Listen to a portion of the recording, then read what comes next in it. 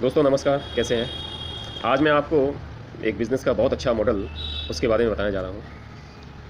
जैसा कि आप जानते हैं, आप इस चैनल पे आते हैं, यहाँ पर बिज़नेस से संबंधित बहुत सारी बातें मिलती हैं, बहुत सारी जानकारियाँ मिलती हैं और सहायता भी मिलती है। तो आज मैं एक ऐसे मॉडल के बारे में बताने जा रहा हूँ जिस पर आप सभी लोग, बहुत सारे लोग, आप में से लाखों करोड़ों लोग काम भी कर रहे होंगे और जानते तो करीब करीब सभी होंगे, लेकिन ऐसा है कि जानना और पूरी तरह से ज्ञान होना दोनों में अलग बात है। आज मैं आपको फ्रेंचाइजी बिज़नेस मॉडल के बारे में बताना चाह रहा हूँ। फ्रेंचाइजी होती क्या है? कैसे ली जाती है, क्यों लेना चाहिए, या लेनी भी चाहिए या नहीं लेनी चाहिए, उससे क्या फ़ायदे हैं? फ्रेंचाइजी देने वाले को क्या फ़ायदा है और लेने वाले को क्या फ़ायदा है? इस सब के ऊपर चर्चा करेंगे। आपसे आग्रह है कि वीडियो को पूरा देखिए, लास्ट तक देखिए। तो दोस्तों, फ्रेंचाइजी एक्चुअली में क्या है? इसका हिंदी में सब अगर देखा जाए तो एक तरह से एक समझौता टाइप का है, समझौता।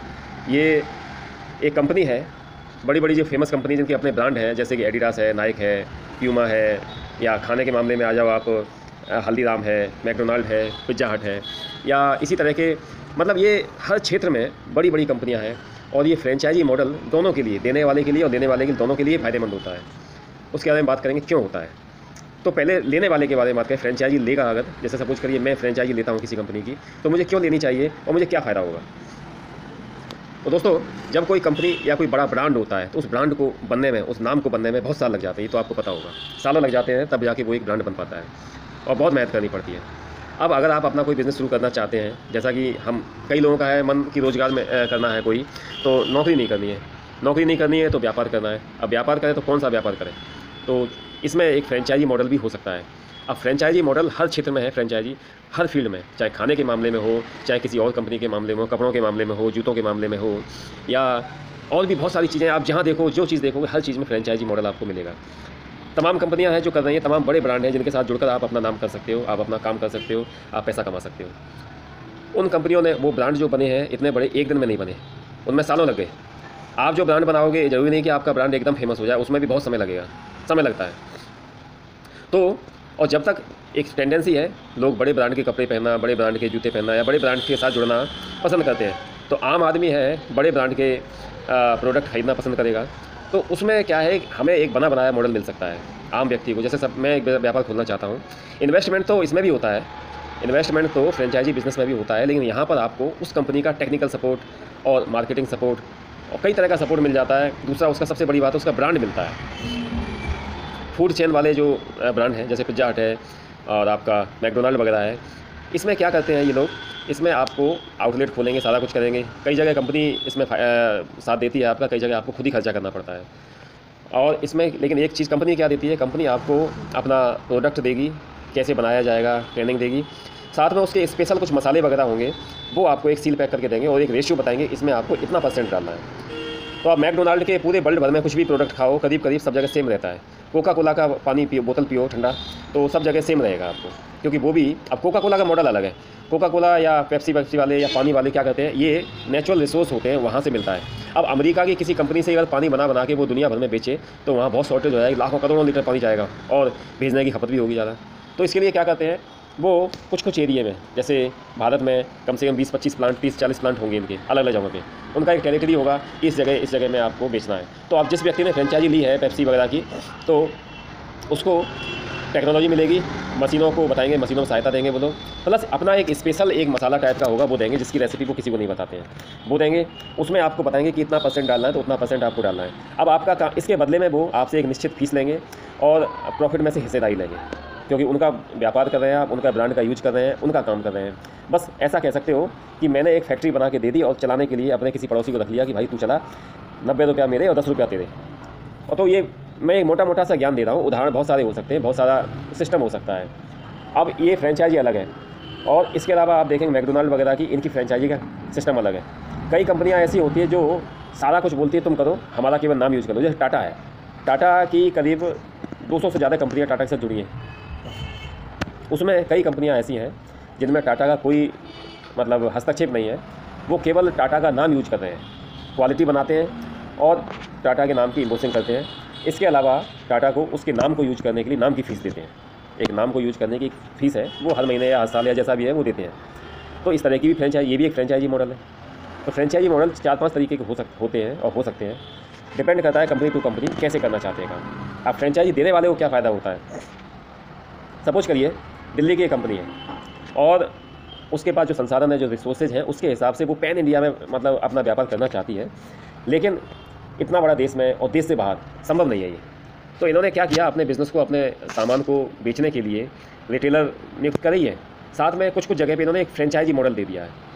फ्रेंचाइजी मॉडल जिसमें कंपनी का सारा सामान उसके पास रहेगा। उसमें आपस में प्रॉफिट शेयरिंग हो जाएगा। और वहाँ से आगे डिस्ट्रीब्यूट करने का या उस एक पर्टिकुलर जो दिया हुआ एरिया है, उसमें डिस्ट्रीब्यूट करने का काम उस फ्रेंचाइजर का होगा। मतलब आप फ्रेंचाइजर फ्रेंचाइजी और होल सेलर्स में कन्फ्यूज़ मत होइए। होल सेलर एक अलग होता है फ्रेंचाइजी एक अलग होता है। होल सेल हर तरह के प्रोडक्ट में हो सकता है फ्रेंचाइजी हर तरह के प्रोडक्ट में नहीं हो सकती है। फ्रेंचाइजी जनरली ऐसे प्रोडक्ट में ज़्यादा होती है, जिसमें, जिसका सीधा संबंध कस्टमर से होता है। डायरेक्ट कस्टमर से होता है। वैसे कस्टमर से तो हर चीज़ का संबंध होता है, लेकिन ऐसी चीज़ें जिनका संबंध डायरेक्ट होता है जैसे कि मैकडोनाल्ड का खाना है पेप्सी कोला है ठीक है आपका आ, किसी गाड़ी की फ्रेंचाइजी है वो डायरेक्ट मतलब उसको बेचेगा। दिल्ली की कंपनी है वो बना रही है गाड़ियों को और आगरा में बेच रही है। आगरा में एक स्टोर खोल दिया उन्होंने उसमें मतलब उसको फ्रेंचाइजी दे दी वो आपके नाम का यूज़ करके आपको बेच रहा है। जैसे ये बजाज के टाटा के एलएमएल के होंडा वगैरह के ये भी इस शोरूम है ना ये भी एक तरह का फ्रेंचाइजी मॉडल ही है। देने वाले को फ़ायदा है कि उसका बिज़नेस जल्दी से जल्दी एक्सपेंड करता है और कुछ लाइबिलिटियों से वो बच जाता है। उसकी लाइबिलिटी पूरी नहीं होती है। हर जगह उसकी लाइबिलिटी नहीं होती है। उसके काम को कुछ आदमियों ने संभाल लिया ऐसे कह सकते हो, एक पेड़ की बहुत सारी ब्रांचेज हैं, शाखाएँ हैं। तो हर शाखा अपना अलग अलग काम कर रही है। डेट्स इट और लेने वाले को क्या फ़ायदा होता? है लेने वाले को फ़ायदा होता है कि वो एक नए, एक स्थापित ब्रांड उसको मिल जाता है। उसका काम आसानी से चल जाता है। उस ब्रांड को लोग जानते हैं। अब पार्ले का बिस्किट है हर दुकानदार पे, दुकान पे कस्टमर माँगता हुआ आता है कि, भाई, पार्ले का बिस्किट दे दो हमें। वो कहेंगे, अनमोल का ले जाओ नहीं, पार्ले का ही चाहिए हमें। तो इस तरह से क्या है वो ब्रांड बने ब्रांड बनाने में उन्होंने बहुत मेहनत करी और उस मेहनत की वजह से उनका जो ब्रांड बना उसका फ़ायदा आपको भी मिलेगा। भले ही थोड़ा कम हो लेकिन वो जल्दी बिकेगा ज़्यादा बिकेगा तो फ़ायदा वहीं आ जाएगा। तो ये है दोनों लोगों का फ़ायदा है। अब मैं आपको बताता हूँ कि, कि अगर फ्रेंचाइजी आप ले रहे हैं तो लेने से पहले उस ब्रांड के बारे में पूरी तहकीकात कर लें। क्योंकि आजकल ऑनलाइन का ज़माना है और इसमें बहुत सारे फ्रॉड भी हैं। आपको पता नहीं चलेगा कब किसने चूना लगा दिया। तो आप क्या करें आप उस ब्रांड की तहकीकात करें। उसके मेन आदमी से मिले जाकर, उसके हेड ऑफ़िस में जाएँ, जहाँ उनका हेड ऑफ़िस है, वहाँ जाएँ, वहाँ बात करें। ब्रांड के बारे में ब्रांड की लॉयलिटी देखें, क्या आफ्टर सेल सर्विस दे रहे हैं, क्या हमें फ़ायदा दे रहे हैं ये, क्या परसेंट मुनाफा दे रहे हैं। इसके अलावा आपके जो आप शोरूम बनाएँगे या आप एक कोई स्टोर खोलेंगे, उसमें आपको क्या फ़ायदा देंगे? मार्केटिंग सेल्स और एडवर्टाइजिंग में क्या फ़ायदा देंगे? कितना मतलब ये हेल्प करेंगे? ये सारी चीज़ों पे आपको ध्यान देना होगा। कंपनी का पिछले तीन, चार, पाँच साल का रिकॉर्ड देखिए कि इसके जो स्टोर खुले हैं, जिन, जिनको फ्रेंचाइजी दी है, वहाँ कितनी फ्रेंचाइजी चालू है, कितनी बंद है। और हो सके तो उनमें से भी कुछ लोगों से मिलिए आप कि आपको कितना प्रॉफिट हो रहा है, क्या वाकई में हो रहा है या नहीं हो रहा है, या यूँ ही सब हवा में बातें चल रही हैं। ये सब देखिए कस्टमर का फीडबैक लीजिए। जब आप चारों तरफ़ से संतुष्ट हो जाएँ, उसके बाद आगे बढ़िए। क्योंकि आपको एक फ्रेंचाइजी फ़ीस देनी पड़ेगी, उसके बाद में एक एग्रीमेंट वगैरह साइन करके वो सब होना पड़ेगा। जब एग्रीमेंट साइन करें तो उस एग्रीमेंट की कॉपी को अपने वकील से पढ़वाएँ पहले, उसे समझें, खुद पढ़ें, वकील से पढ़वाएँ, है ना? और जब समझ में आ जाए, जब समझ में अगर नहीं आए कोई पॉइंट तो उनसे डिस्कस करें इस चीज़ के बारे में। यदि किसी बात पे आपको आपत्ति है तो उस चीज़ के बारे में डिस्कस करें और अपने व्यूज़ रखें। और क्योंकि एक समझौता है, ये दोनों पक्षों की मर्ज़ी से होता है, उसने समझौता कर दिया तो वो आपको, आपका अपना नाम इस्तेमाल करने से रोक नहीं सकता। और जब आपने कर दिया तो आप उसकी शर्तों के अधीन है और जो वो कहेगा, जिस हिसाब से उसमें टर्म्स कंडीशन में लिखा है, उस हिसाब से आपको करना होगा। ये चीज़ है। तो इसलिए जो भी करें, सोच समझ के करें, अच्छी तरह तहकीकत करें ब्रांड की लॉयल्टी देखें, प्रॉफिट शेयरिंग देखें और प्रॉफिट आपका, अपना अपना प्रॉफिट कितना हो रहा है वो है। उसमें देखिए आपने कितना इन्वेस्टमेंट कराया है तो वो देखिए कि कितने समय में हम निकाल पाएँगे उसके उस चीज़ को। अगर हमें यहाँ पर फ्रेंचाइज लेने में पचास लाख रुपया खर्च हो रहा है और हमें जो पचास लाख तो खर्चा हो गया, अब हमें प्रॉफिट मिल रहा है पाँच परसेंट तो हम कितने समय में, कितने समय में हम उसको चुका पाएँगे? एक मोटा मोटा अनुमान इसको भी लगाना पड़ेगा थोड़ा सा आगे, थोड़ा पीछे हो जाएगा, भविष्य तो किसी ने देखा नहीं है। तो मुझे उम्मीद है आपका आज का वीडियो आपको पसंद आया होगा। इसके अलावा बहुत सारी कंपनियाँ हैं, हर कंपनी, हर चाहे खाने के मामले में हो, कपड़े के मामले में हो, किसी और चीज़ के मामले में हो, ज़्यादातर कंपनियाँ आज फ्रेंचाइजी बिज़नेस में जा रही हैं। ये उनके लिए काफ़ी बेनिफिशियल है और लेने वाले के लिए भी। तो मुझे उम्मीद है ये वीडियो आपको पसंद आया होगा, लाइक, शेयर और सब्सक्राइब ज़रूर करें। अपने जो क्वेश्चंस हैं, वो पीछे डिस्क्रिप्शन में दिए हुए नंबर पे या फिर मतलब आप यहाँ पर कमेंट करके पूछ सकते हैं, मैं उसका जवाब दूँगा। नमस्कार, थैंक यू, धन्यवाद।